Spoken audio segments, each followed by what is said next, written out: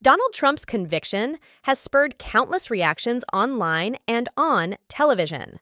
After the former host of The Apprentice was found guilty on all 34 counts of falsifying business records by a Manhattan jury, celebrities didn't wait to weigh in.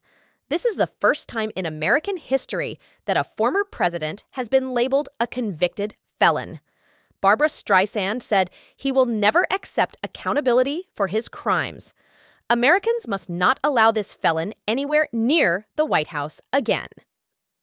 Jimmy Kimmel said, Listen, I have bad news. The only thing you're going to be fighting to win is the jello cup on your prison cafeteria tray.